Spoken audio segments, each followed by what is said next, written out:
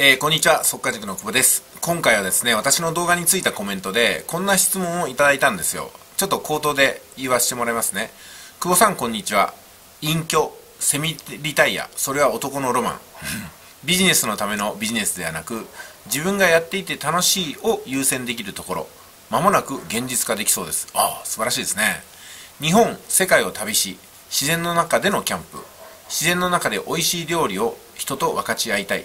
英語も勉強したい。パーカッションヒップホップダンスも習いたい。久保さんの考える隠居セミリタイアの極意、えー、概論格論ロマン注意点をご教示いただけますでしょうか？ということですけども、まあ、そんなに大したものではないんですけどもね。あの私はあの隠居っていうのは最初はね隠居ビジネスっていうマーケティングにしようと思ったんですよ。で実際私は40歳までは1回も自由になったことがなくてですねただ勝手にやってただけなんですよ。この自由なのか勝手なのかって大きく違うと思うんですけども今は本当にね自由をいただいてますね。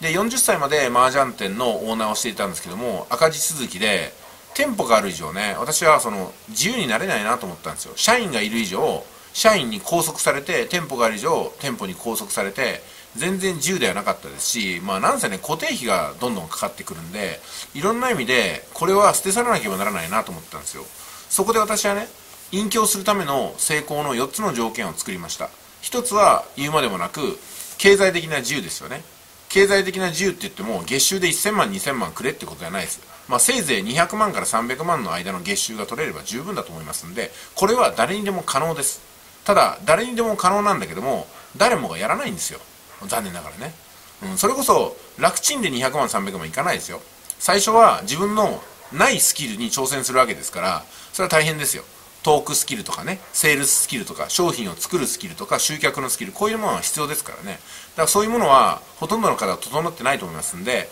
それが整うまでは結構苦労します。ただそれを突き抜けると、一生、そのビジネスで困ることはない、経済的な苦労をすることはないかなと思ってます。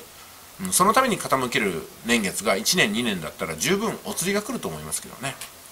はい。それでですね、2つ目なんですけども、経済的な自由の次は、時間の自由ですね。ものすごく儲かっちゃっててもそれ時間がなくて忙しくって働いて儲かってるんだったら全く意味がなくって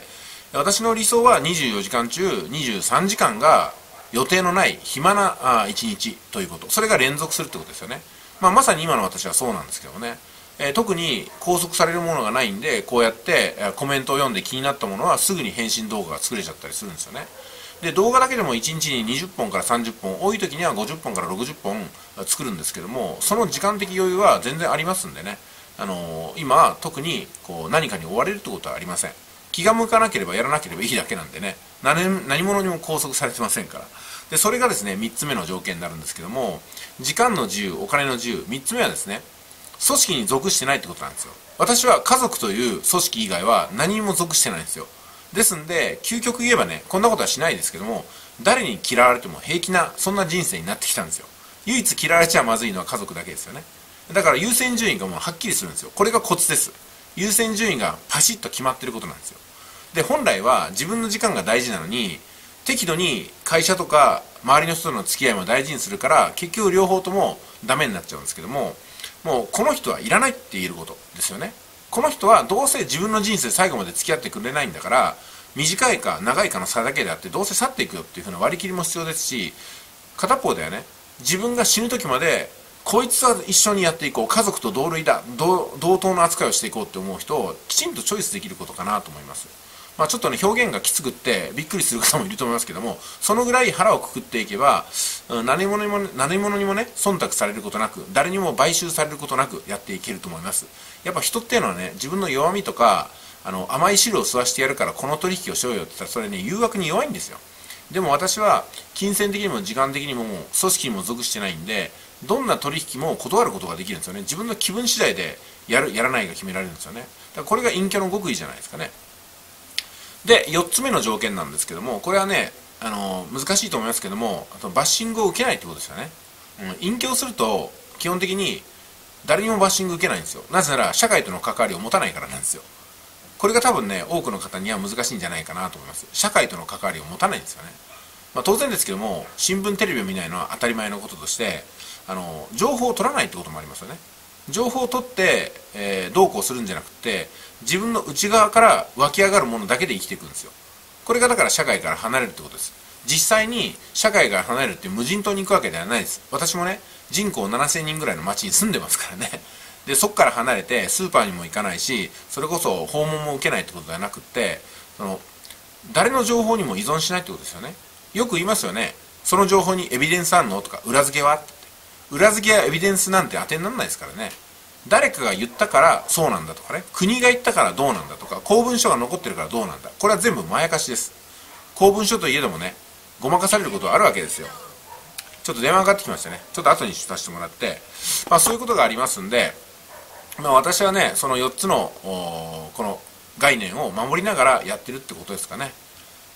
うん、で、えー、自由な時間を持てば英語の勉強もできるしパーカッションやヒップホップダンスも習います。私はこの年になって民謡三味線を始めて今4年目になるんですけどもこれも自由な時間があるからなんですよ。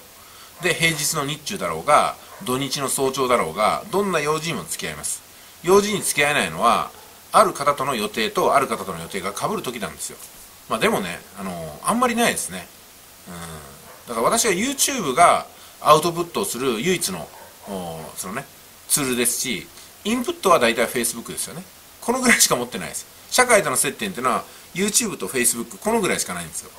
でもちろんニュースサイトも見ませんしね。他の方の YouTube を見ることもほとんどないです。見るとしたら最近はイップマンっていうねカンフーの映画を見てるんですけども創作物ばっかり見てます。ランボーとかねロッキーとかね ああいうのが好きなんですけどもカンフーかボクシングを見てますね。だからね。明日のジョーとかも好きですし空手バカ一代も宇宙戦艦ヤマトもそれからサイボーグ009も好きですね。全部創作物見てます。でリアリティのあるものほどまあ創作物だなっていう気もしますしね。うんまあ分かんないですね。だからね何が本当か嘘かっていうのはあの誰かが決めてくれるわけじゃなくて自分が選ぶんですよね、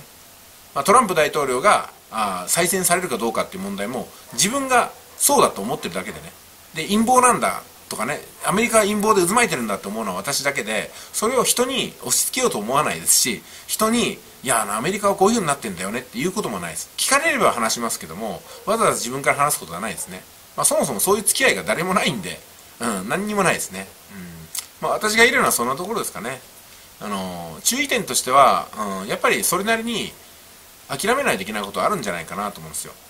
うん、だからその諦めに正直になれるかなってことですよね。その代わり、えー、自分が絶対に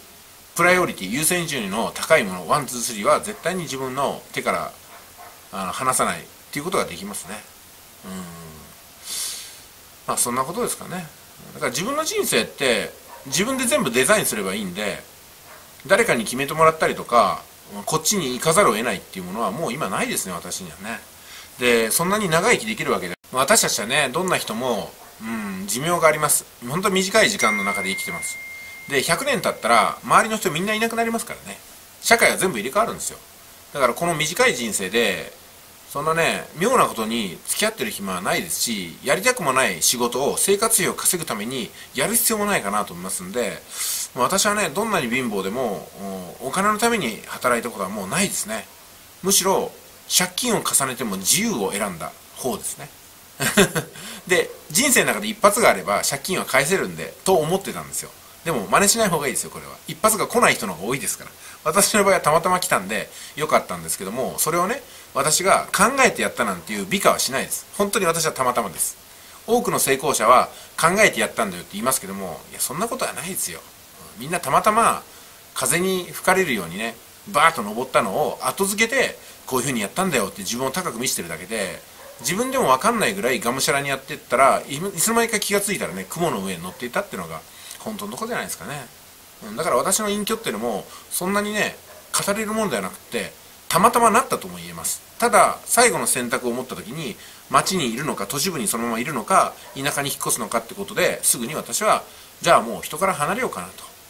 うん、でそっからインターネットを使って付き合えるだけの人と付き合っていけばいいやと。私の YouTube の発信に集まってくる人だけとやっていこうと思って速稼塾が今に至るわけなんですよね、えー、現在速稼塾塾生さんは47都道府県そして世界14カ国アメリカ7つの州に塾生さんがいらっしゃってその数は1000人以上になります。もう私はねこれで十分です。この速稼塾っていうファミリーがいればもう十分です。うん、もちろんね、速稼塾のファミリーが増えていく分には、私は大歓迎ですけども、あの、速稼塾に、えー、関わらない人に積極的にこちらから声をかけて勧誘をしたりというつもりはないですしね、えー、それから自分の手の届かないところで起きていることは、もうそれは全て私の範疇ではないなと割り切っているところでございます。以上ですね。では、失礼します。